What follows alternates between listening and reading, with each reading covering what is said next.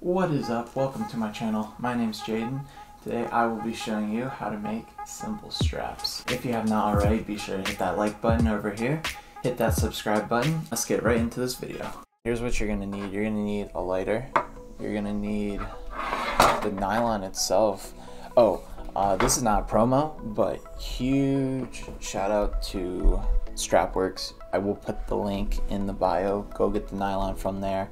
Uh, this is definitely the best nylon to use. I haven't tried the colored ones. I know at GMU we use the tan one. This one I know for a fact is hard.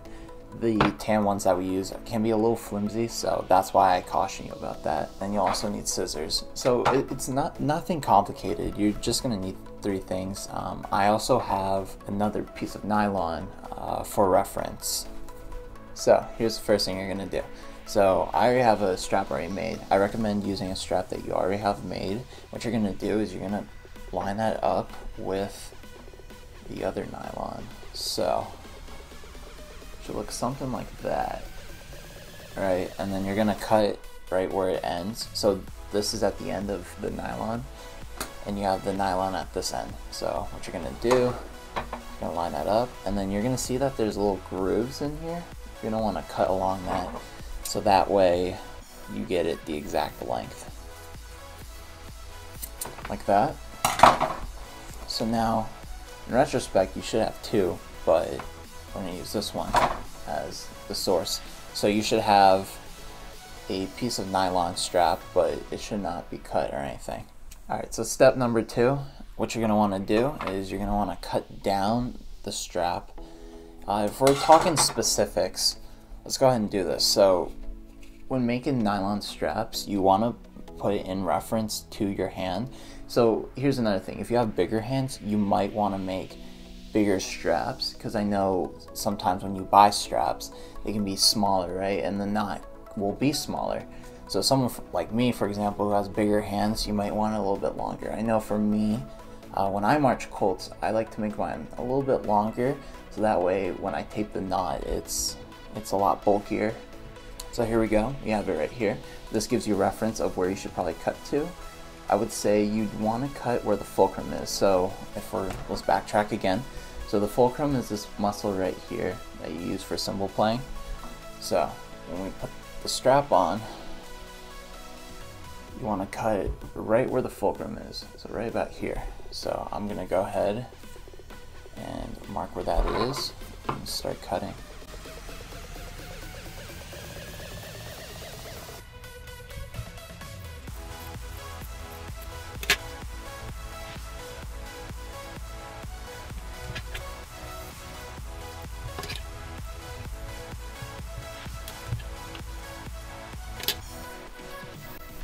Alright, so perfect. I just finished making my strap. You can see, kind of hard, but you can see that I cut the strap to the fulcrum, and maybe it's a little bit longer. That's alright. So this takes me to step number three. So you're gonna get this extra fuzz. I would make a pile so you know where it all is. But what you're gonna do now is you're gonna wanna peel this a little bit so that you're not getting this thick nylon because it can be hard to put the entire strap in your cymbal. So I would peel, um, let's say, oh boy, if I can get this. Okay, there you go. So yeah, I would get it right about here. So if you look at the fray, you can see that that's probably about like a centimeter. So then what you're gonna wanna do is you're gonna wanna do that to both sides. So I will be doing this.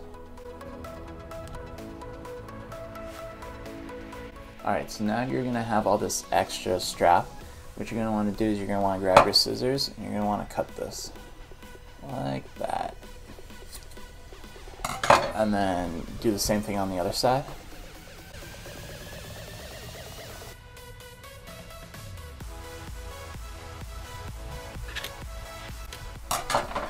And there you go. This is what you should have now.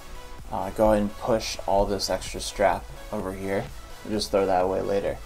So now this takes us on to number four. So number four is where you're gonna need your lighter. You're gonna have all this extra fray right here. So what you're gonna wanna do is you're gonna wanna start your lighter. Oh, you can also use any lighter. I just choose to use this because it's cheaper, easier.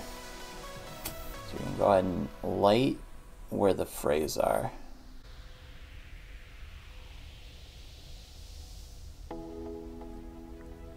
So you should get something like this.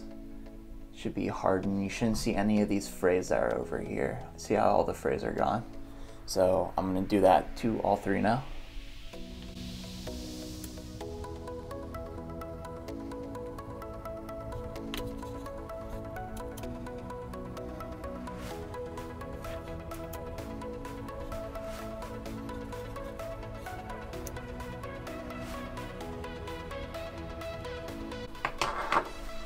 Alright, perfect. So now this is what we should have. We should have four straps or four legs that should be all burned.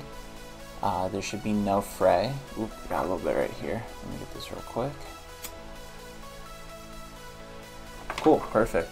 So I also want to make a part two video going specifically into the details of making the strap. So if you'd like to see that, be sure to give this video, uh, let's shoot for, let's say 10 likes if we can get 10 likes on this video, I will make another video going into details about making straps that fit perfectly to you. Because I know when you buy straps, sometimes the straps can be like too small, or sometimes the straps like they've got like crust on the side, so it makes it harder to put the cymbal in. We'll talk about all those specific details, but yeah. So be sure to subscribe. Appreciate all the support. This is a lot of fun. I enjoy making these videos. Uh, you know, the vlogs will keep coming. And yeah, I'll be making more videos on cymbal tips and how-tos. Be sure to also follow my Instagram. That is all for me today, and I will see you in the next video.